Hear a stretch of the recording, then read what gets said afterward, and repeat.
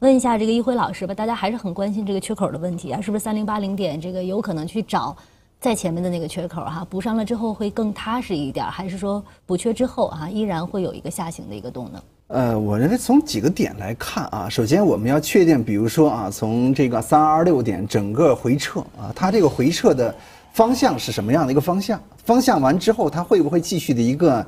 呃，再次的反弹，对吧？你比如说，我们从二八八五点反反弹以来，它这个这一轮行情结没结束？我不认为结束，啊，我认为这一轮行情，如果说这是一个小的结构的一浪的呃上行的话，那无非现在是一个二浪的回撤，只是回撤的点是在什么时间结束？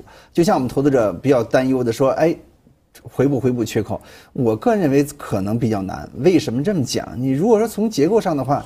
这是一个趋势线嘛？你现在来讲，无非就是把这个趋势线稍微破了一下。刚才马老师也讲到了三十均线啊，这是其一。其二来讲的话，目前是一个缩量的下跌。那这个位置是顶吗？同样，刚才我们强调过，二八八五点，如果说我们往这块来看的话，这个二八六三点。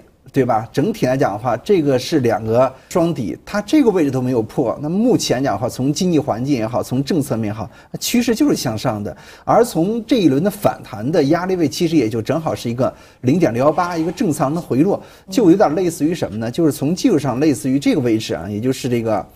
二六四六点，我们可以看一下啊，高点啊下来之后啊，再次反弹。你看这个位置回撤，回撤的幅度也稍微大一些。你看正好是一个趋势线的位置，之后是一个震荡反弹。呃，所以说来讲的话，我认为其实不是在于这个跳空缺口，而是在于什么？就是在这个位置你守不守？啊，如果说你手说我现在目前持有的一些好的板块、好的个股，那好，我们就是以手为主，这是其一。其二来讲的话，它回调之后能不能继续的上行啊？我刚才听时听马老师讲的，我特别开心，我特别爱听，因为跟马老师合作好多年了，实话实说。呃，我觉得爱听的点是什么？跟跟我说的一样的想法，就是震荡反弹有什么可担心的，对吧？三千点之下我们都经历过，两千九以下都经历过啊，这一。稍微调整一下，就有点晕了，好像没做过股民一样。这有什么的呀，对不对？我觉得不需要担忧，调整下来反而是机会，是不是？我觉得是什么？最困难的时间我们都过去了，对吧？加息，对吧？人民币贬值，现在人民币升值，随便一看，现在七以下，对吧？每一轮行情人民币升值的时候，都是有一轮比较明显的一个上行的一个空间，对吧？你看这一轮的峰值就是在。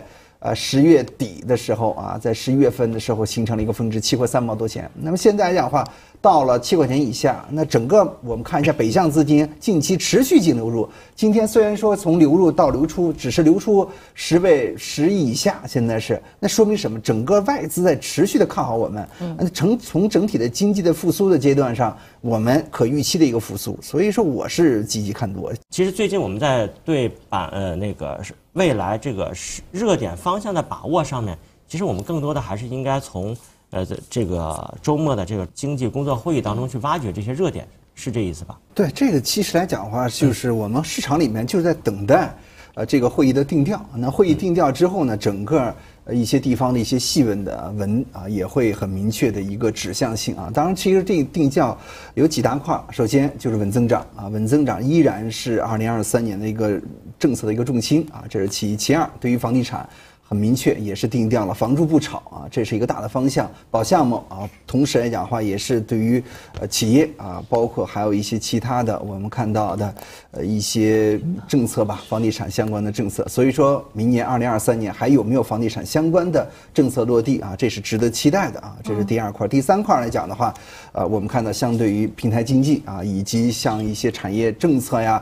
呃，等等的，包括啊，尤其是这个消费啊，在这个会议之前，我们也都知道，刚才马跃老师也讲到了扩大内需的政策，二零二二年到二零三五年啊，这样的一个跨横跨时间非常长的呃这么一个扩大内需，这里面也讲到扩大内需三大块啊，首先房地产，其次啊汽车啊，再次就是养老。等等的这相关的，所以说对我们来讲，就是第一阶段，我认为炒作的炒作的是什么逻辑呢？就是政策逻辑、政策导向逻辑啊，这一点我们要知道。那么紧接着进入到一月份，我们要。炒作的是什么？我认为可能就是业绩推动性。因为目前讲的话，其实市场在等待的这个会议落地之后，比如说对于二零二零二三年的货币政策啊，包括像财政政策的啊这种流动性啊，这也是相对而言也是有期许的。那这种期许相对而言，我们也都知道啊，明年是还是一个宽松的，或者说是一个。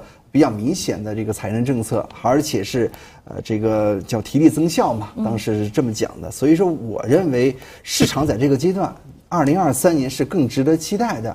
以及对于我们来讲，要抓什么板块？我认为，呃，刚才我们其实也讲到了，以业绩导向为主、以消费导向为主的这些板块上，可能在明年是一个主流的。主要的，那现在今天从指数表现情况上，其实并不好。但是我其实为什么没有什么感觉呢？因为我关注的板块都是涨的。你像汽车，我一直是很关注啊，包括像其他的，我一直在强调的是什么呢？就是你在这个位置，我们成本趋势在三千一百点的下方啊，对吧？我其实之前我一再强调的是，我们如何来看趋势的一个向上，主要是看三个方向。第一个。有没有连续三天站到三千一百点之上？这是其一。其二来讲的话，政策面有没有持续的发力？你包括这一轮行情，我们看一下，它这个调整就是九天的时间嘛。今天从高到低也就九天的时间。嗯。而在这个二十八号，我们之前也正好是呃进行这个直播的时候，我们看到的是大盘调整了六十几个点，百分之二的下跌啊。今天其实下跌到第九天，我们看到下跌了百分之一点四二。我觉得。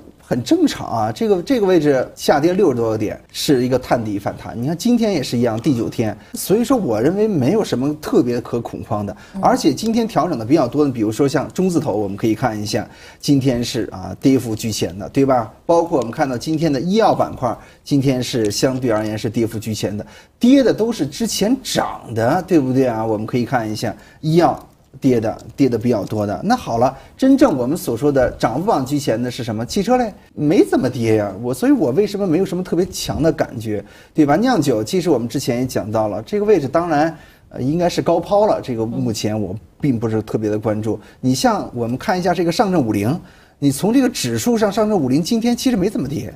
你从整体低到高，我们可以看到还很平稳。这个上证五零今天下跌一点二，但是我们可以看到还是可以的。你像那个沪深三百，我们可以看一下，呃，今天从这个今天是下跌百分之一点二，但是整体来讲的话，目前如果说单纯看指数型的这种基金也好，或者说上证五零和沪深三百还是不错的，没有形成一个比较大的这种亏损，或者说啊整个市场已经不行了，没有。我认为今天这个调整。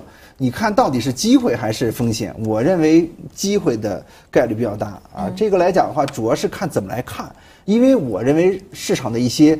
呃，咱们所说的之前的风险没有了，现在有什么风险？我认为没有什么风险。现在唯一比较大的风险是在于什么？咱们自己吓得不行了，然后呢，这些机构在目前持续的进场，我觉得这是风险。你要么就是前期买的是一些高标股票，呃，追的一些高位的，可能目前调整的回撤的比较大，觉得哎呀，市场是又进行一个回撤。